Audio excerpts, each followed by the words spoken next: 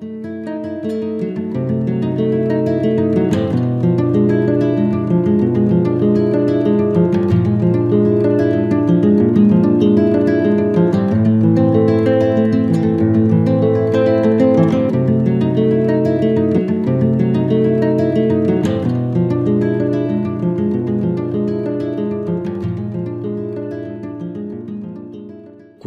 Se encontró entre las cuatro paredes de un apartamento en manos de un hombre borracho en medio de un delirio homicida, se dio cuenta de que se había equivocado al aceptar esa invitación. Demasiado tarde. Esa sería la última noche de su corta vida.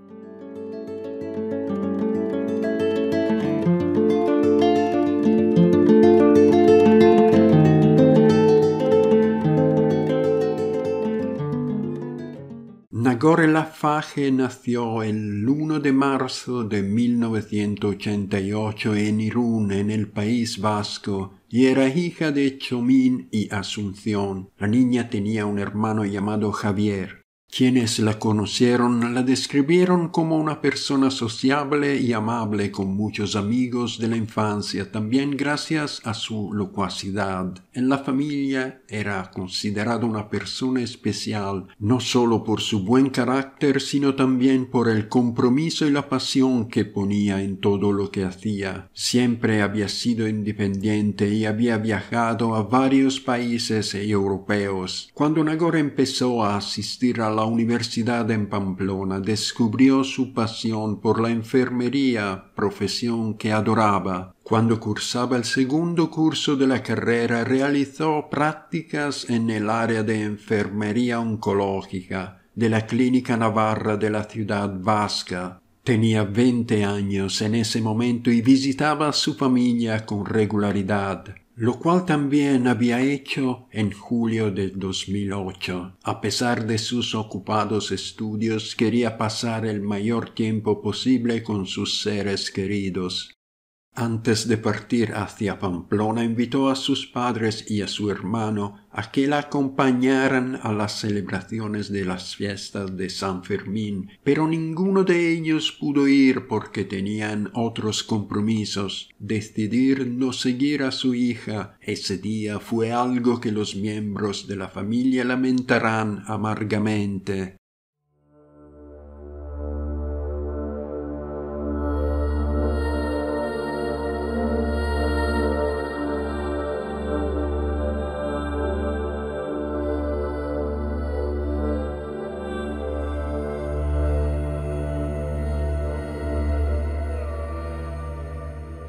La ciudad de Pamplona es mundialmente conocida por las fiestas de San Fermín. Miles de personas participan cada año para vivir el riesgo y la emoción de los populares encierros, los mismos que inmortalizó Ernest Hemingway en la novela Fiesta el 7 de julio de 2008 el clima en la ciudad era abrasador, no solo por el calor del verano. Todos querían participar de la fiesta y compartir la alegría y la jovialidad de esos días.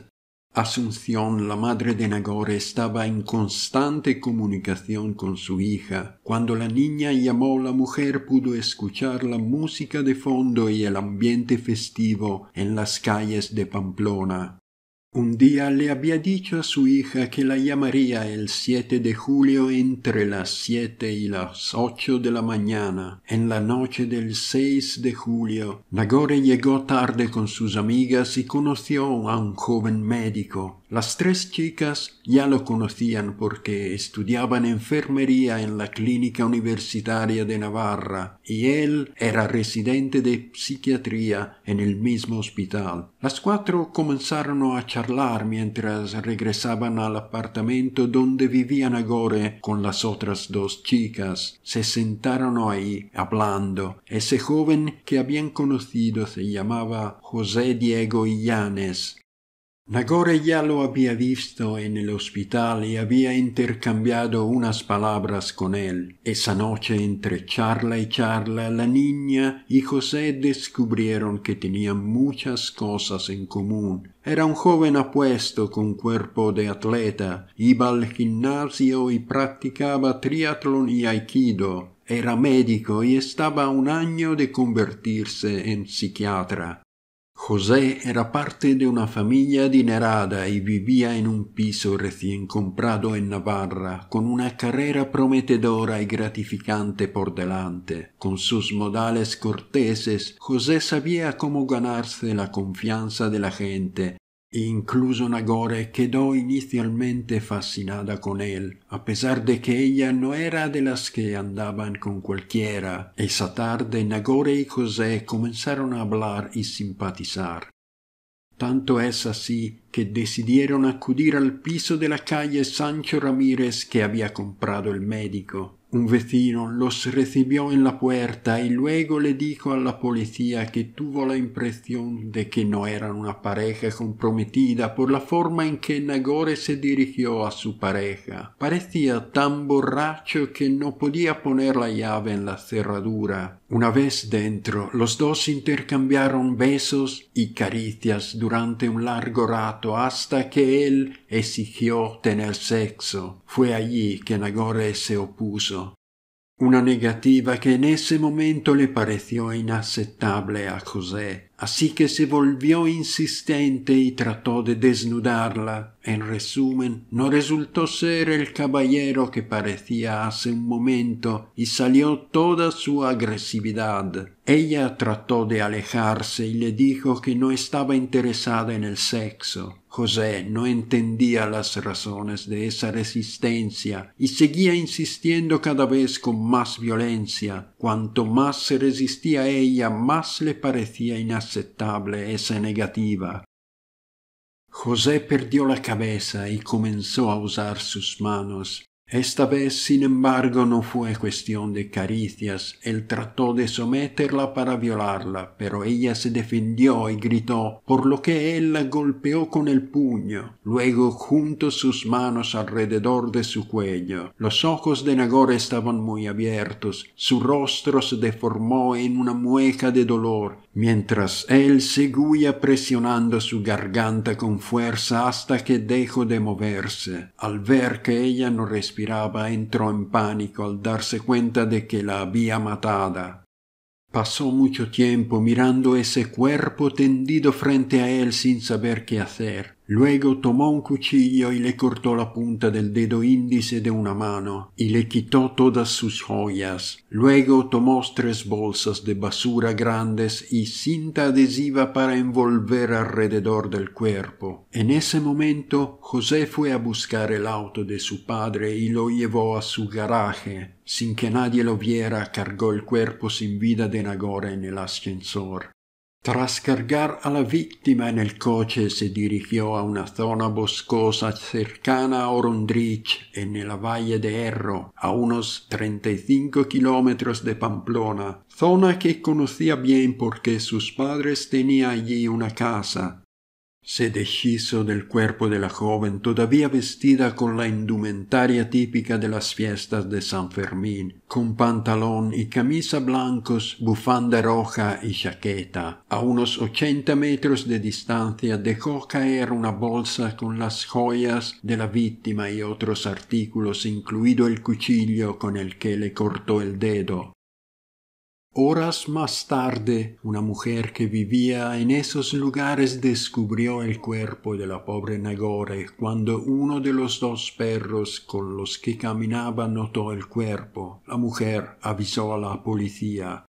En la tarde de ese 7 de julio la madre de Nagore llamó varias veces a su hija sin obtener respuesta. Al día siguiente, cuando regresaba del trabajo, las autoridades le pidieron que fuera a Pamplona. Algo muy malo había sucedido en Nagore. Desde el principio la madre no podía creer que su hija estuviera muerta. Para los padres tal cosa parecía imposible. Para ellos su hija había pasado todo el tiempo en el hospital. Cuando el cuerpo de Nagore fue encontrado en una zona boscosa, la madre tuvo la triste tarea de reconocer el cadáver de su hija. Descubrió que la niña tenía ojos morados, un labio partido y moretones por todas partes. Ella quedó horrorizada con esa imagen y declaró que nunca se recuperaría de esa tragedia. Mientras tanto, los investigadores reconstruían las últimas horas de vida de la joven. Consiguieron establecer que Nagore había estado con sus amigas en un bar del centro histórico de Pamplona durante las celebraciones de San Fermín se enteraron de que José y Nagore se habían hecho amigos aprovechando que ya se habían visto varias veces en la clínica. La policía encontró imágenes de los dos caminando por la calle hacia la propiedad de José. El hombre se convirtió en el principal sospechoso de ese asesinato y finalmente fue arrestado. En su edificio se encontraron huellas de un forcejeo en el corredor común. En el apartamento José había intentado limpiarlo todo, pero las pruebas recogidas por los investigadores le obligaron a decir que había matado a Nagore. En la corte dijo que todo comenzó con un malentendido, había estado bebiendo mucho y la chica había malinterpretado sus verdaderas intenciones. Esas declaraciones suyas fueron desmentidas por la reconstrucción que hizo la policía. José había despojado violentamente a Nagore de su ropa interior, en un intento desesperado por detenerlo. Ella le había dicho que lo denunciaría por ese abuso. La negativa y esa amenaza lo enfurecieron aún más y las golpizas aumentaron. Nagore estaba herida e indefensa, no podía escapar de ese lugar, pero aún así trató de pedir ayuda cuando la madre de José llamó a su hijo a su teléfono celular. Él estaba en otra habitación y Nagore, con la voz débil que le quedaba, trató de hacerle entender a la mujer lo que estaba sufriendo, pero esa conversación duró apenas nueve segundos. Luego la comunicación terminó y el pedido de Nagore quedó en esa habitación. Al parecer, poco tiempo después, la niña que colgaba de su cintura pudo hacer una llamada al número de emergencia, pero al el operador no pudo entender lo que la víctima quería comunicar desesperadamente. No se envió ayuda a pesar de que Nagore le habría suplicado al operador que temía por su vida. Cuando José se dio cuenta de que ella estaba llamando, se cegó de rabia y la golpeó hasta que se desmayó y luego le puso las manos en el cuello y la mató. Posteriormente el asesino llamó por teléfono a su amigo Guillermo, un chico que trabajaba en el mismo hospital que él, pidiéndole ayuda para deshacerse del cuerpo de la joven. Sin entrar en detalles, trató de explicar su situación y le rogó a su amigo que no lo denunciara. Guillermo le aconsejó que fuera a la policía a entregarse, pero José respondió que si lo traicionaba se quitaría la vida al final de esa conversación. Su colega finalmente prefirió advertir a las autoridades dejando en claro que no sabía si lo sucedido había sido un accidente o algo intencional. José fue encontrado por sus padres dentro del automóvil familiar, el mismo que se utilizó para transportar el cuerpo de Nagore. La familia dijo que el joven tenía intenciones suicidas Luego fue arrestado por la policía en espera de los resultados de la autopsia. El informe del forense refiere más de 35 golpes con mucha fuerza, fractura de cráneo y mandíbula. La joven presentaba lesiones internas en el cuello y la cara. Los patólogos creían que había sido objeto de violencia y golpizas durante mucho tiempo. Sus pantalones y ropa interior estaban rasgados en varios lugares. El 2 de noviembre de 2009 se inició el juicio en la Audiencia Provincial de Navarra, donde un jurado popular compuesto por seis mujeres y tres hombres fue encargado de oír a ambas partes. Las pruebas contra el acusado eran muchas y luego estaba su confesión. Durante el juicio, la madre de Nagore ingresó a la sala del tribunal el 4 de noviembre cuando la llamaron a declarar. El juez le preguntó al jurado si les gustaría interrogarla sobre su hija. La mujer quedó perpleja cuando le preguntaron sobre el pasado romántico de su hija. Parecía que a los miembros del jurado les interesaba saber cuántos hombres había tenido Nagore y qué relación tenía con el médico que la había asesinada.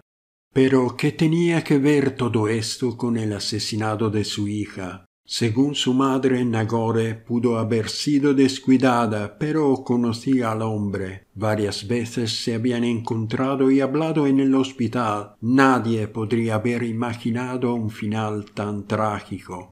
El acusado aseguró no recordar nada de lo que había hecho, pero los peritos de la sala negaron sus palabras. No hubo pérdida de conocimiento antes y después del asesinato. Ese crimen fue el resultado de una mente clara según los peritos de la Fiscalía.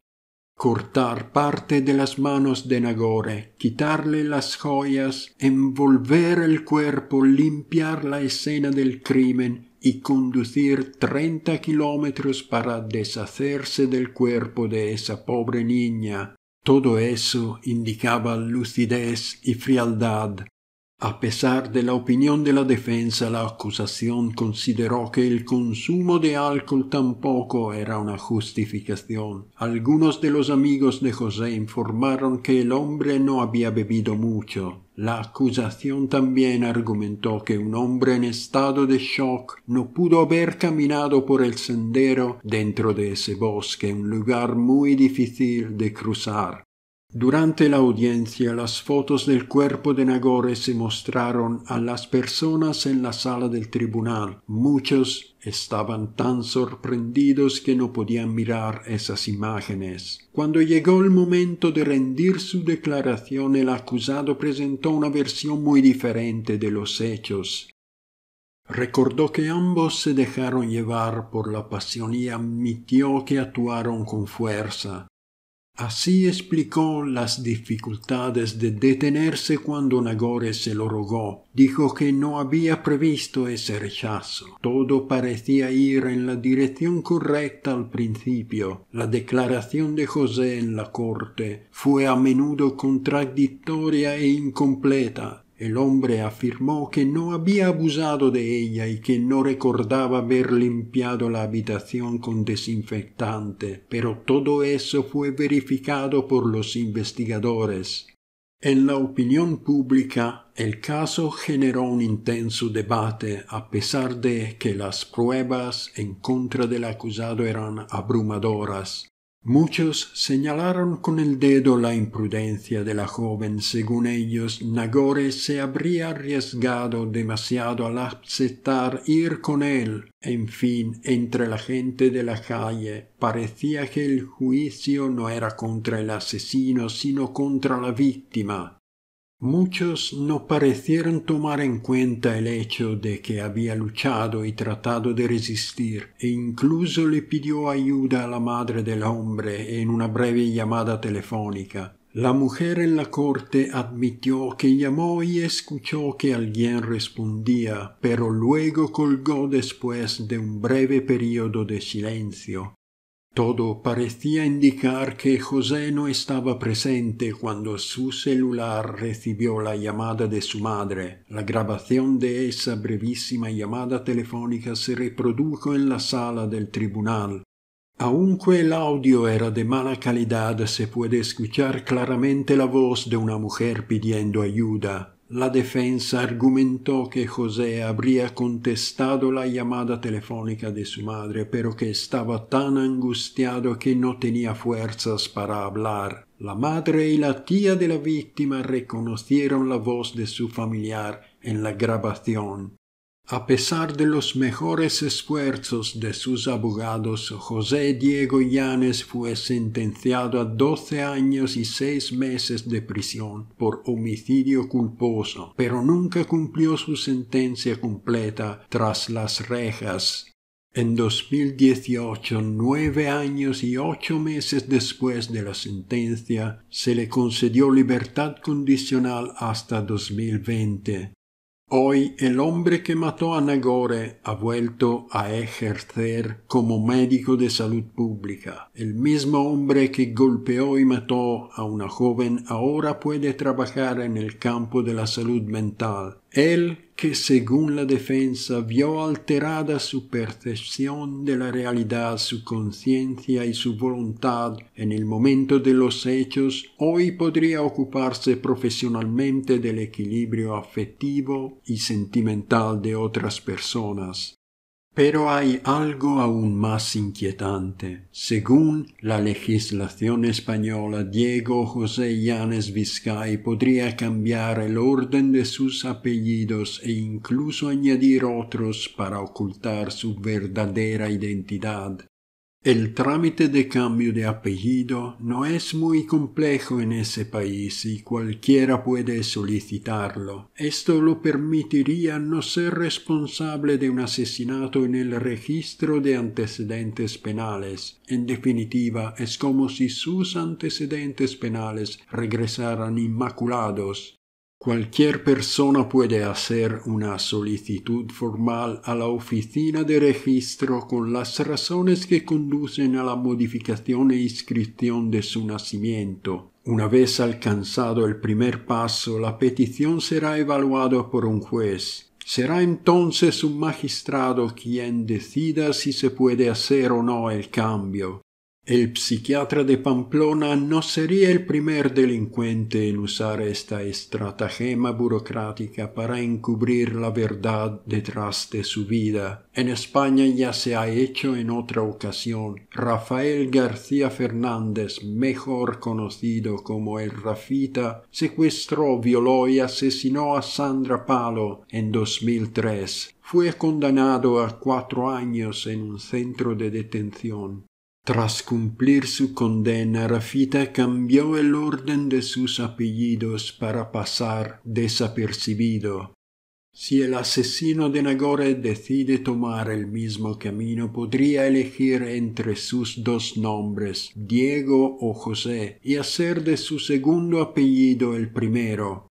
Pero Diego Llanes no podrá hacer cambios injustificados. El Ministerio de Justicia especifica que los apellidos resultantes de la modificación deben pertenecer legítimamente al interesado y no a un solo progenitor. En cualquier caso, el nuevo estatus penal del asesino le permite ejercer su especialidad médica, la psiquiatría, tanto en la sanidad pública como en la práctica privada.